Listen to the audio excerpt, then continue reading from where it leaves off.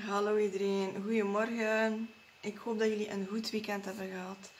Uh, en dat je ook uh, gisteren goed hebt gevierd, uh, overgang met Halloween en Samhain en zo.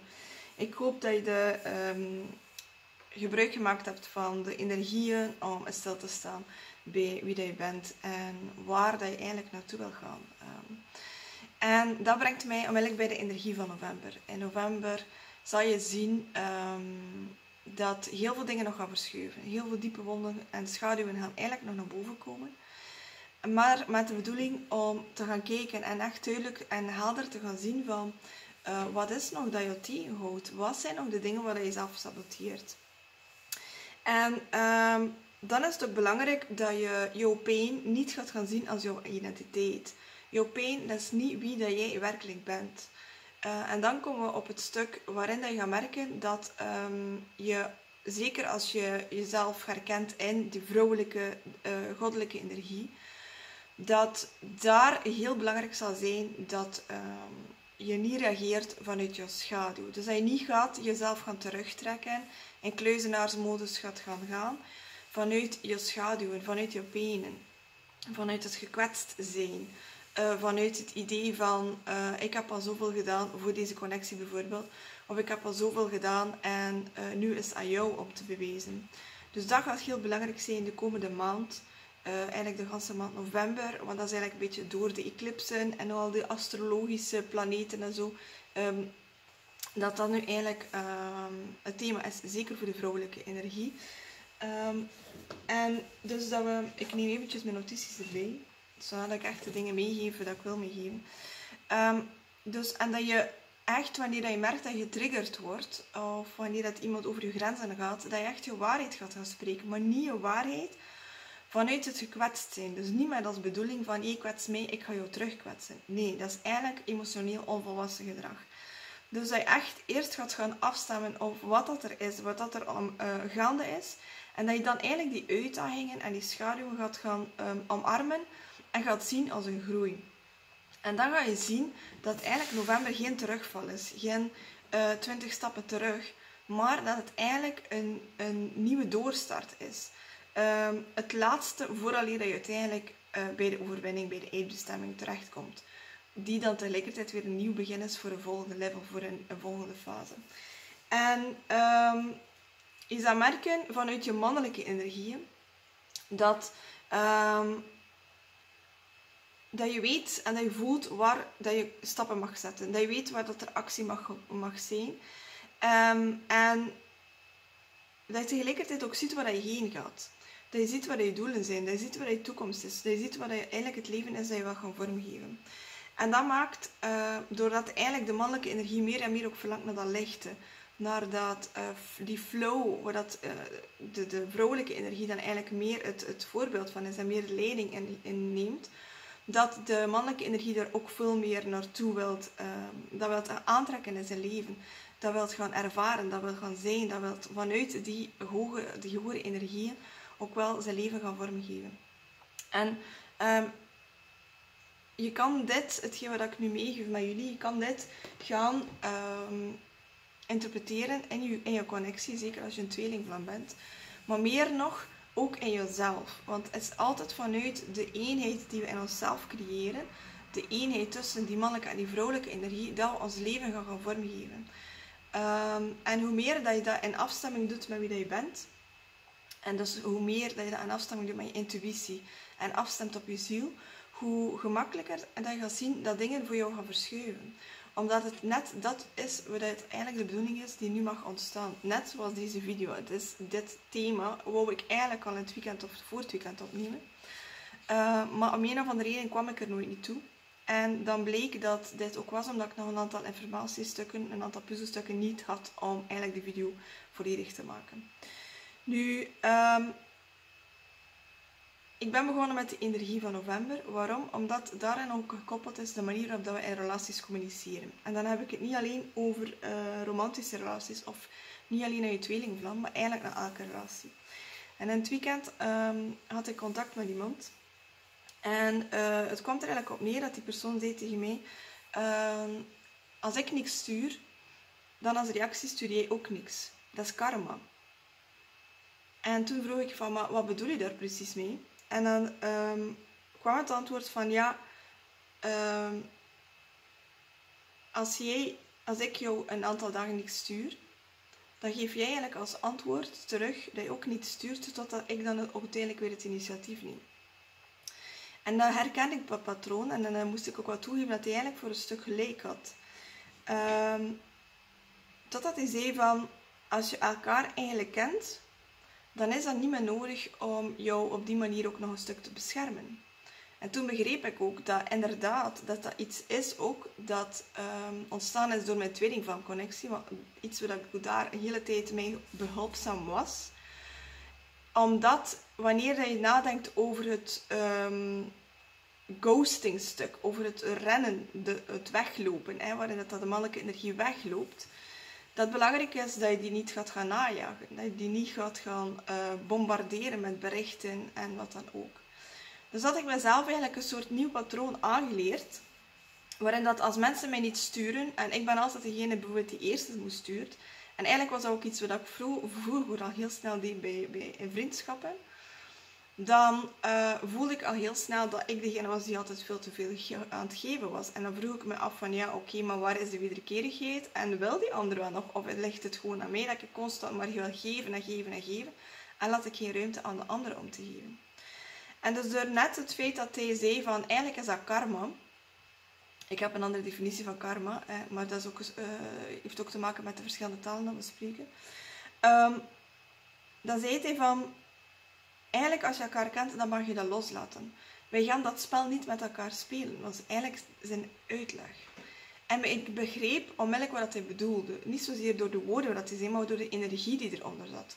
Omdat er heel veel liefde bij kwam ik voelde heel veel liefde die samen met die woorden naar mij gestuurd werden. En toen begreep ik ook dat eigenlijk belangrijker is dat je, wanneer het gaat over communiceren met anderen, en zeker ook in, diepe zielsconnecties, ehm, dat je jouw intuïtie volgt. En dat je niet je obsessie volgt. Dus voel je het verschil? Wanneer je vanuit liefde, vanuit je intuïtie, dat je eigenlijk intuïtief gewoon aanvoelt van oké, nu mag ik inderdaad een bericht sturen, mag ik iets laten weten, mag ik een vraag stellen, dan is dat oké, want het is vanuit liefde. Wanneer dat is vanuit obsessie, dat wil weten waar de ander mee bezig is en de ander wil controleren, omdat je het is omdat je een aantal oordelen en verwachtingen hebt en dat eigenlijk meer nog vanuit je diepe angsten en onzekerheden komt, laat het dan. Laat het dan los en neem dan geen contact op. Stuur dan geen uh, berichten. En dat is hetgeen wat ik daarnet ook zei. Let op dat je niet reageert vanuit je schaduwen. En let op dat je niet, niet terugtrekt vanuit je schaduwen. Want dat is hetgeen wat dat eigenlijk gebeurt. Ook bij ghosting. Ook wanneer dat ze een hele tijd uh, jou niets laten weten. Want tenslotte willen we allemaal liefde. We willen die nabijheid. We willen die genegenheid. Wat is onze gekwetstheid? Die diepe wonden die ervoor zorgen dat we het eigenlijk allemaal tegenhouden. Dat we het eigenlijk allemaal blokkeren. Dat we eigenlijk die muur constant weer optrekken. In plaats van eigenlijk gewoon maar die liefde dat er is te laten stromen. Ongeacht welk label dat er op, uh, rond uh, is. Ongeacht uh, wat dat de, de volgende stap is. En dat is het stuk waar je, wanneer je meer en meer vanuit die hogere energie gaat gaan leven, dat je meer en meer ook in het nu kan zijn. Gewoon kan genieten van de dingen die er nu zijn. Gewoon kan genieten van de connecties die nu op je pad komen. Ongeacht van welk en hoe lang dat je in elkaars leven zal blijven. En dat maakt dat je uh, meer en meer gaat gaan empowered zijn, dat je meer en meer jezelf gaat gaan versterken, dat je meer en meer gaat geïnspireerd zijn om inderdaad die intuïtie te voelen. En dat je meer en meer vanuit afstemming met je ziel en je hart eigenlijk keuzes gaat gaan maken. En dan, um, ik moet zeggen, dat thema wat ik nu aanga, dat kwam er eigenlijk uh, nadat ik merkte dat mijn DM, dus mijn uh, tweelingvlam, eigenlijk ook weer een stukje in hermit, in, in de kluizenaarsmodus ging en eigenlijk een stukje afstand nam. En wanneer je dan um, zaken gaat gaan opzoeken rond ghosting en zo, dan uh, ja, vind je daar heel veel verschillende meningen over. Natuurlijk, tweelingvlam connecties zijn alles behalve de, op dezelfde manier te verklaren zoals de gewone normale relaties, als ik het zo mag noemen, maar eigenlijk zoals de relaties dat we kennen. En dan heel toevallig, ja, toeval bestaat niet. Het universum brengt altijd dingen die we nodig hebben, ook al zijn het dingen die ons laten twijfelen en ons dingen in vraag beginnen stellen. En Dat is ook de reden waarom dat dit op mijn pad gekomen was. Eigenlijk met twee, twee dagen na elkaar kwam er een video van totaal iemand anders langs, waarbij dat het eigenlijk ging over die ghosting. Hoe dat je als vrouw moet reageren wanneer dat mannen je uh, negeren, je berichten lezen, maar niet antwoorden en zo meer. En in die uh, video's kwam er eigenlijk altijd op neer dat uh, wanneer dat de ander jou negeert, dat je eigenlijk ook afstand moet houden en hetzelfde moet gaan doen. En ik voelde daar heel veel weerstand bij, gewoon omdat ik ook gemerkt heb hoe dat het in mijn, uh, mijn tweelingvlamconnectie werkte. Maar ik begreep niet goed wat dan nog dieper voelde, wat er eigenlijk nog meer, uh, ermee meer werd, geteld, werd verteld. Dus daar ben ik over gaan nadenken, ben ik over gaan ehm, mediteren, zou ik zeggen. Maar ik zit niet echt in eh, meditatie, ik ga vooral gaan schrijven. En op die manier komen ook antwoorden uh, tot mij binnen. Ik heb er ook over gesproken met dus verschillende mensen, waarvan ik ook weet dat dat divine masculines zijn in ontwikkeling. En heb ik ook gevraagd aan hen van hoe, hoe staan jullie daarover? Klopt dat inderdaad? Dat mannen, wanneer dat zij uh, je berichten lezen en iets laten antwoorden, dat ze eigenlijk een keuze gemaakt hebben. En dus in die video had ze dus gezegd dat wanneer dat iemand jou, een man jou eh, negeert, dat kan eigenlijk ook gewoon een vrouw zijn, maar dit hij jou niet regeert, dat hij eigenlijk een keuze gemaakt heeft.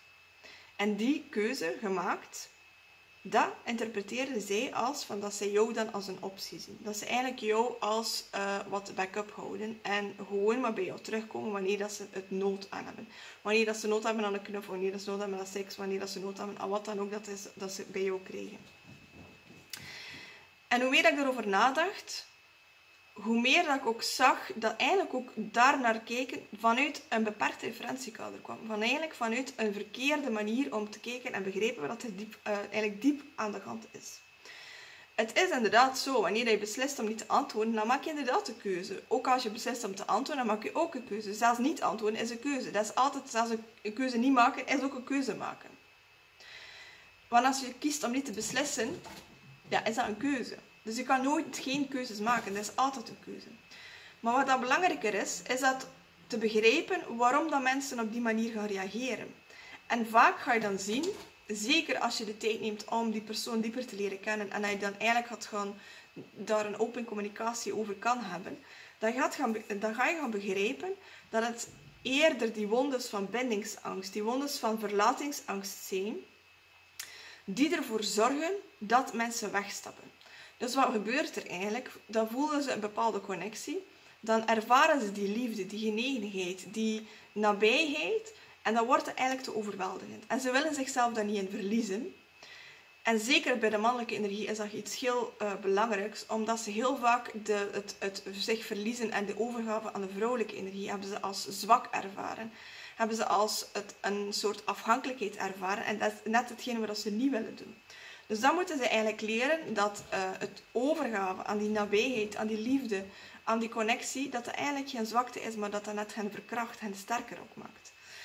En dat is het stuk waarin dat je um, gaat zien wanneer de mensen nog steeds vanuit 3D naar gedrag kijken, naar wonden gaan kijken.